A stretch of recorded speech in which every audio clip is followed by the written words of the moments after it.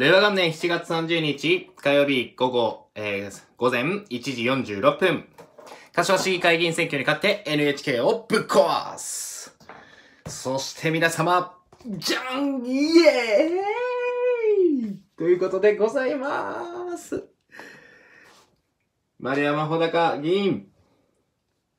丸山穂高大義士、NHK から国民を守る党へ入党おめでとうございます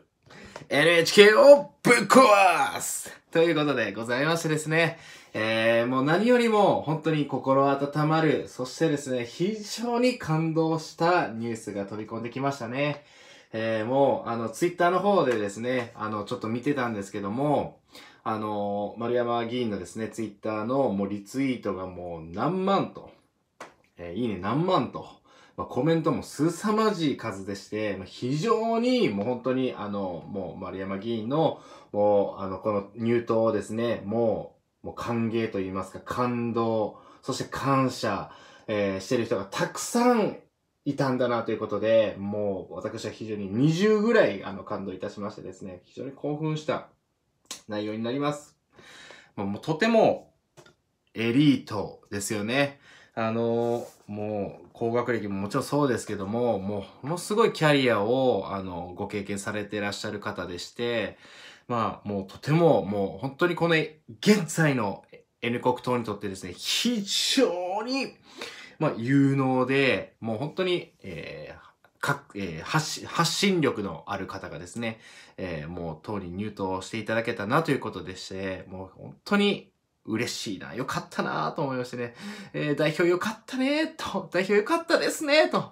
もう非常に私黒瀬、えー、感動いたしました。もうあの記者会見でも、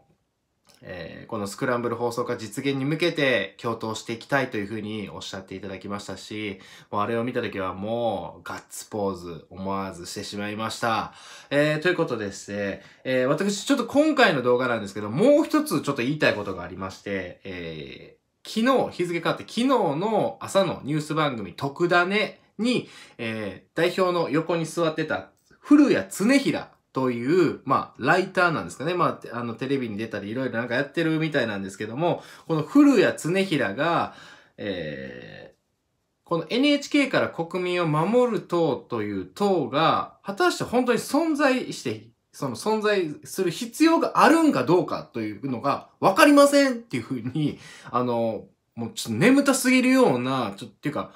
大丈夫かなと思うような、あの、発言をしてたんですね。まあもうあの代表は非常に、まあもう神対応されてましたけども、この NHK から国民を守る党が国政政党になったのは皆様のご存知、そして皆様のおかげであります。国民の皆様に後押ししていただきまして、え、国政政党になることができ、そして立花代表は国会議員になることができたということになるので、この存在意義があるのかどうかわからないとかっていうってことは、この国民が NHK から国民を守る党に投票していただいた方まで馬鹿にしているんかと俺は言いたいんですね。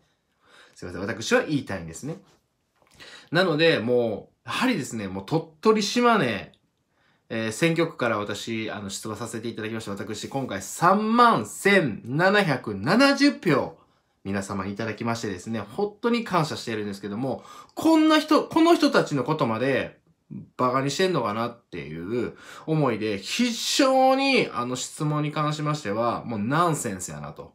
思いました。えー、そしてあの質問に関しましては、誰も得することがないんですね。NHK から国民を守る党をご支持してくださっている皆さんに対しても失礼ですし、えー、もちろん代表立花にも失礼ですし、もう非常にあの、もう謎の質問やなと思っておりまして、で、あの、まあ、その古谷のですね、あの、つね、古谷常平の、えー、なんか、知り合い、友達には、NHK をどうしても見たくないとか、えー、そういうことを言ってる人がいませんと。なので、国民の人たちが、皆さんが本当に NHK を見たくないとか、見ないとかっていうのが信じれませんって言ってたんですけど、これはあくまでもこの古谷常平の個人的主観の話であって、実際、もう、あの、新聞の調査でもね、ちょっとどこの新聞会社か忘れましたけども、新聞の調査で、えー、もう88%の方が、もうスクランブル放送が実現するべきだっていう風に、もう過去のデータも出てますし、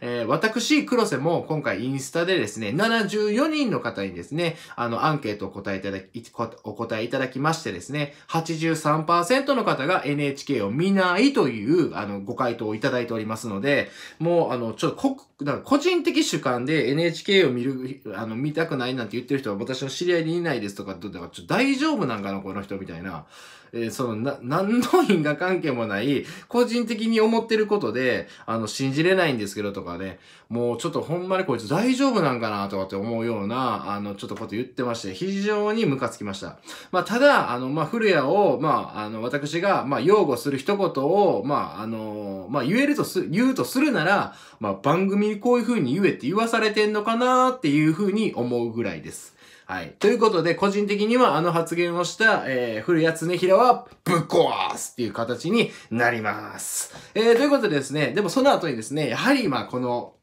えー、もう、こ記者会見でですね、あの、この、もう本当に、え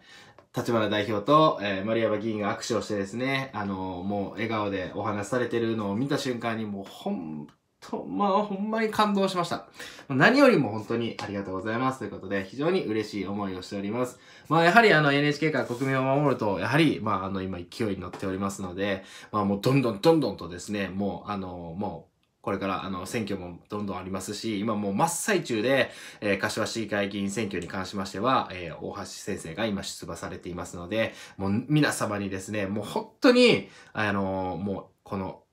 大橋先生に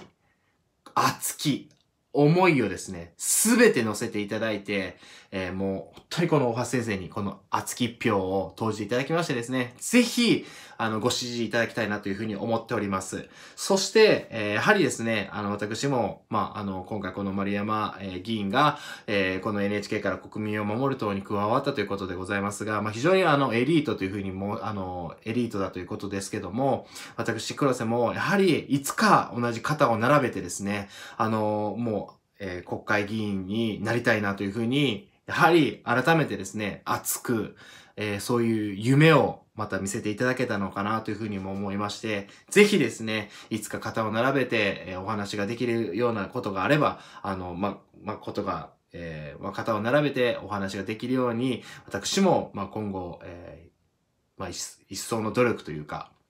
えー、自分を磨いていきたいなというふうにも思いましたし、思いましたし、まあ、本当に、あの、何よりも、